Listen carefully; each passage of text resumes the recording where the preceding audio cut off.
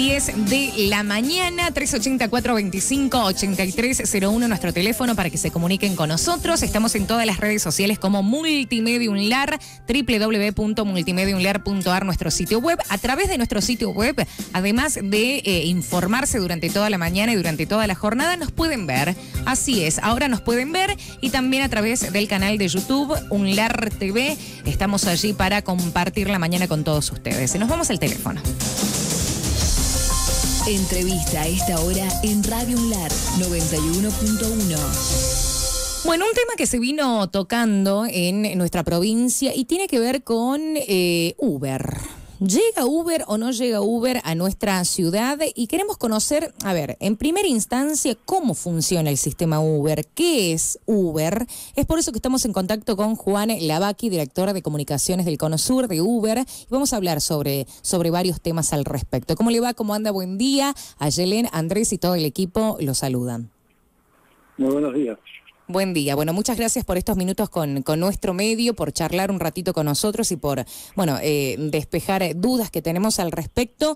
Eh, en primer lugar, como decía, ¿qué es Uber y cómo funciona este sistema? Bueno, Uber es una empresa que está dedicada a, eh, a través de la tecnología, poder acercarnos y movernos en las ciudades, acercarnos cosas y movernos en las ciudades.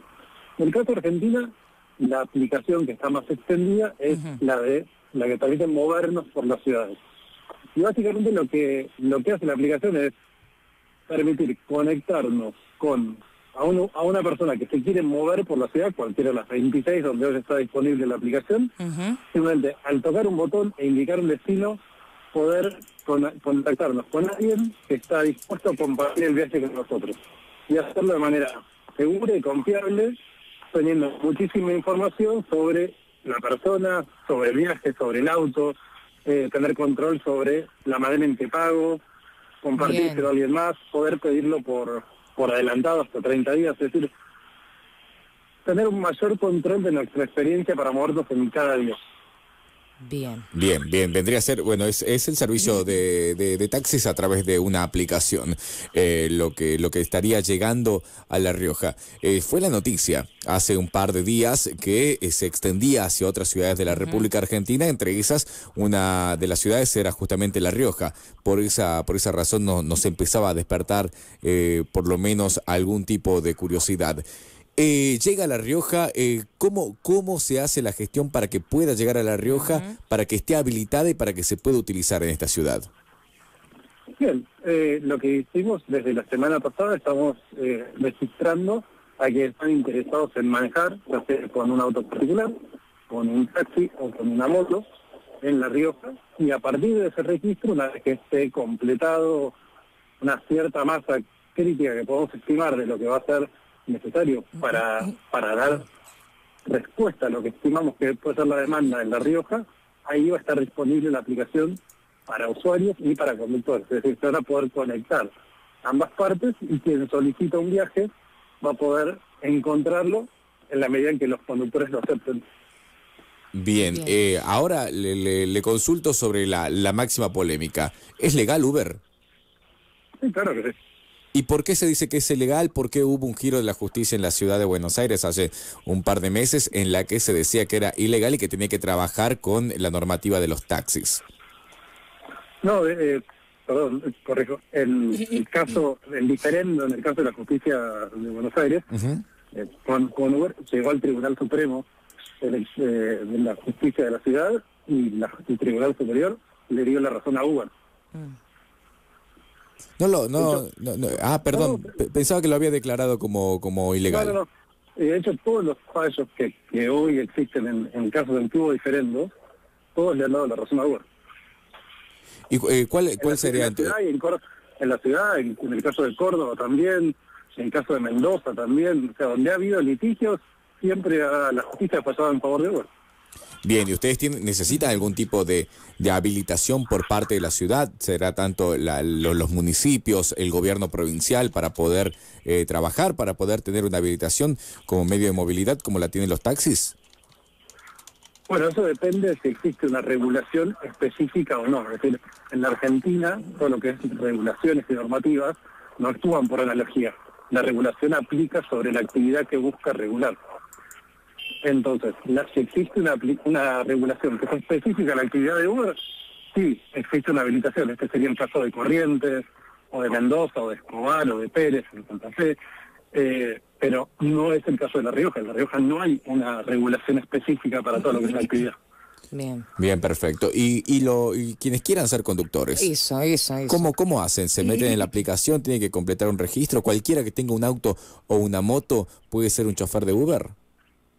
No, diría que cualquiera no, pero lo importante es que pueda ir presentando la documentación para ver si es posible. Entonces, hay dos maneras. Puede hacerlo si a quienes prefieren hacer todo a través de, su teléfono celular, pueden bajar la aplicación de conductores de Uber, que es Uber Driver, como conductor en inglés, y a partir de ahí les va a pedir que eh, den primero unos datos muy simples, nombre, apellido, un celular, y un, o sea, un teléfono, un número de teléfono celular y un correo electrónico, y a partir de ahí está registrada la cuenta. Pero eso es por el principio. Desde ahí va a tener que empezar a cargar documentación dependiendo de con qué vehículo quiere manejar. Bien. Si quiere manejar con un taxi, presenta la menor cantidad de documentos. Bien. Porque, por ejemplo, al presentar un carnet de, de conducir profesional, no tiene por qué presentar un certificado de antecedentes penales. En cambio, quien presente un, un registro común o clase B, sí va a tener que presentar un registro de, para un certificado de antecedentes penales.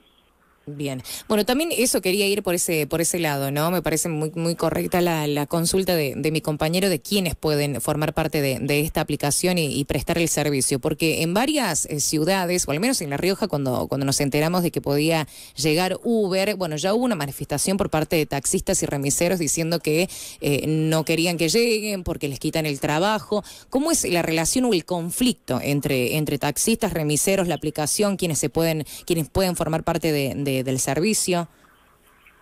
No, a ver, eh, hoy de hecho los taxistas son parte de la aplicación en todas las ciudades donde está disponible Uber.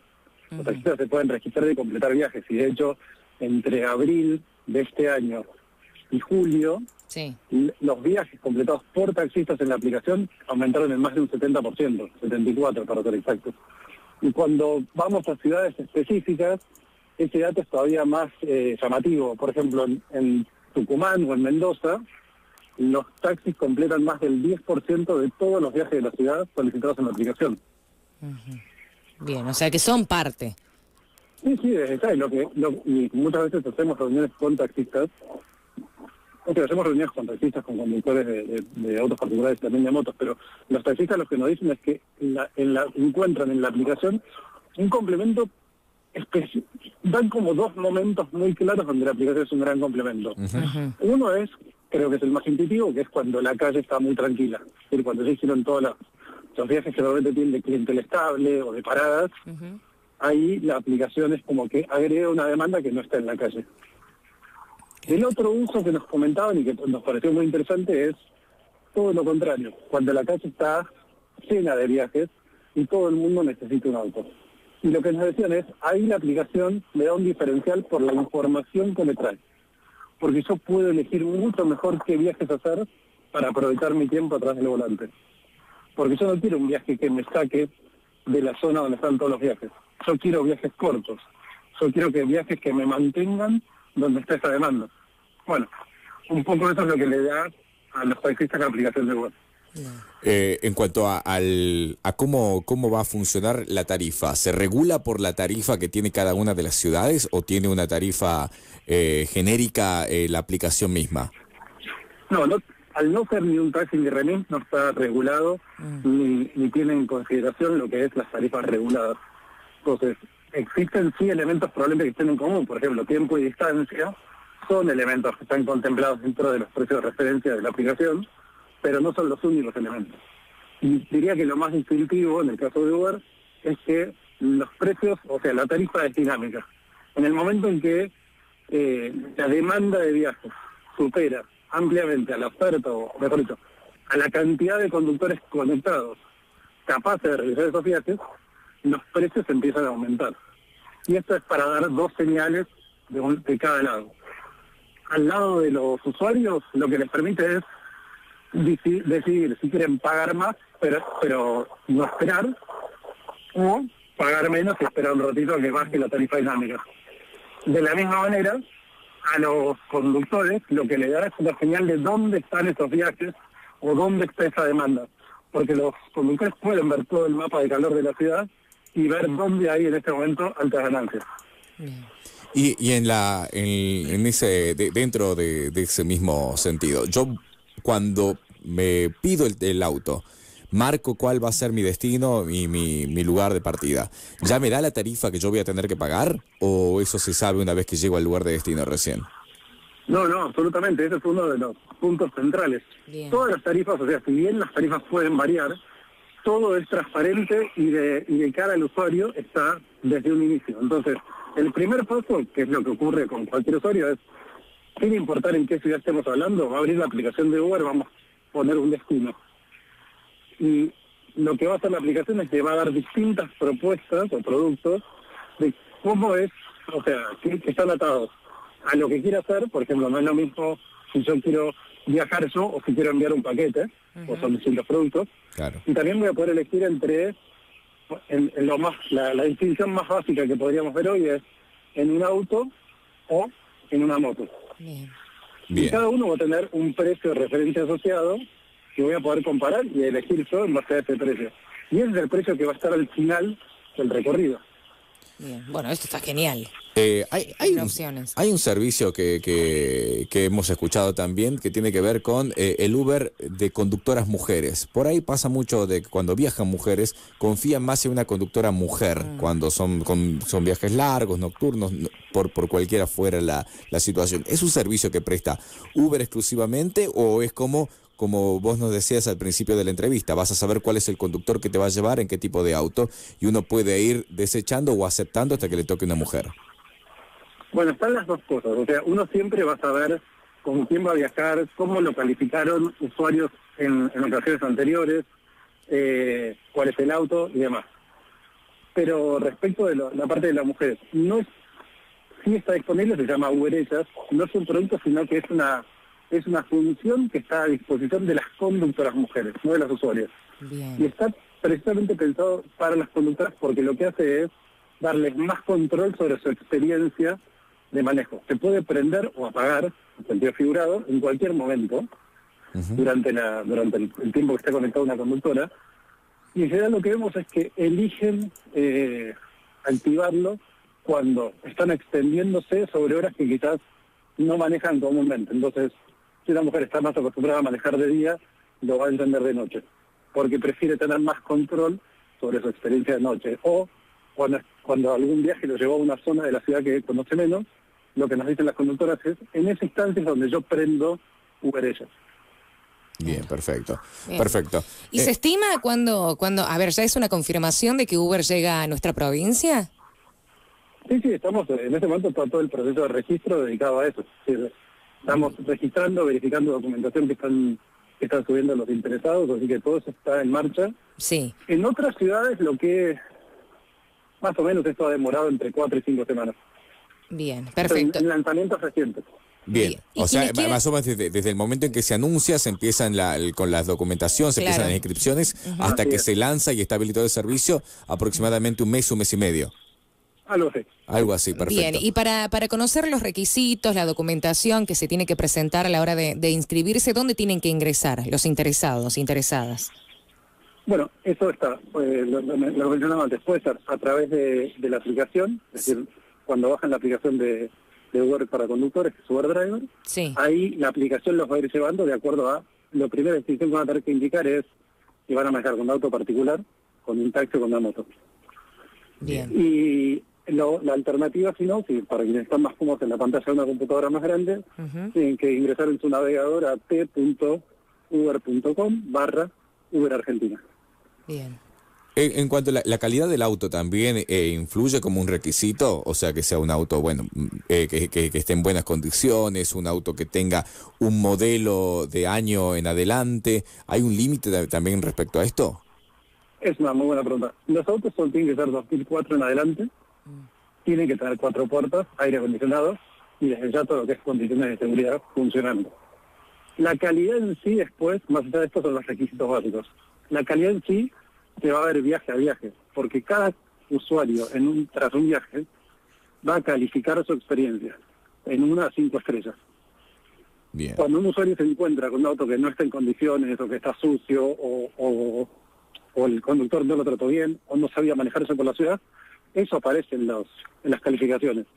De la misma manera, los conductores también pueden calificar a los usuarios. Bien. Bien, perfecto. Perfecto, entonces, como para, para ir conociendo un poco más Bien. acerca del servicio. ¿Y necesitan algún tipo de seguro especial los autos? Todo auto de Argentina tiene que, eh, para estar en la calle, tiene que tener un seguro contra terceros. Pero ese no es el seguro que va a correr en los viajes de Uber.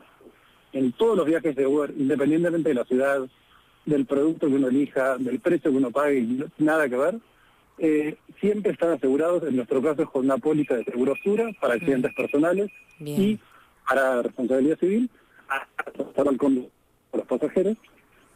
Y esto está en línea con una regulación que existe desde 2019 a nivel nacional. Bien, bien, perfecto. Y también estábamos leyendo en parte de la, de la información, conociendo un poquito acerca de Uber y cómo, cómo funciona. Quienes se inscriban, tanto motos como autos, taxis, tienen promociones, ¿no? Sí, sí, sí, así es. Hay promociones, tanto al inicio en general de cada de cada puesta en, en marcha de una ciudad, Sí. pero después también hay promociones a lo largo de la semana, muy generalmente. Pero sí, estamos siempre cuidando desde un producto que esté accesible para quien necesita moverse, Sí. pero también que valga la pena para quien está conectándose como buscando una oportunidad económica. Bien. Y, y en ese sentido, ¿cuánto, cu- ¿cuánto le queda al conductor de cada viaje? ¿Qué, qué porcentaje es su, su ganancia y cuánto queda, obviamente, para la, la aplicación que, que tiene que ganar dinero? Pero las, las comisiones varían, pero al final de la semana, si un conductor hizo alrededor de 20 viajes, Mm, las comisiones deberían estar promediando el 25%. ¿La, comi- la- la comisión que, que- que cobra la Sí, aplicación sí, o que sí. cobra el conductor? No, no, que corra la aplicación, es decir, el conductor se queda con todo lo demás. Bien, perfecto. Bueno, Perfecto, entonces. eh, yo me puedo bajar la aplicación, ponerme como conductor. Yo tengo un trabajo, pero si tengo tres horas libres a la tarde, ¿esas tres horas me puedo conectar o me demanda un tiempo mínimo de, de conexión? No hay ningún tipo de mínimos, ni de, ni de viajes mínimos, ni de horas mínimas, ni de frecuencia, ni de zona. Eh, la experiencia con la aplicación está pensada para que uno la maneje a su control, es decir, que todo esté bajo la decisión personal. Entonces, si yo me quiero conectar una hora a la semana, está perfecto. La hora que muchísima gente no nos cuenta. Yo manejé en un momento porque necesitaba la plata para algo que quería comprar y ahora me lo tomo como algo que simplemente para mantenerme en contacto manejo una hora a la semana. He conocido hasta conductores que manejan dos horas al mes dicen, es mi manera de tener contacto con la aplicación. perfecto. No hay ningún requisito. Perfecto. Me parece genial. Creo que te hemos bombardeado a preguntas lo suficiente con Sí, todas las dudas que genial. teníamos acerca de esta aplicación. Eh, Juan. Para eso estamos. Juan, Para eh, eso estamos y más, y más en casos donde la, la ciudad todavía está conociendo la aplicación, así que no, para un placer hablar con ustedes. Bueno, te agradecemos mucho y seguramente te vamos a, llamar de nuevo un poquito más avanzado para saber si eh, finalmente ya estamos listos para, para el lanzamiento y el funcionamiento de la, de la aplicación de la ciudad. Perfecto, siempre a disposición. Te agradecemos Igualmente, mucho. hasta Ah, luego. Hasta luego. Hasta luego. Estamos donde está la información.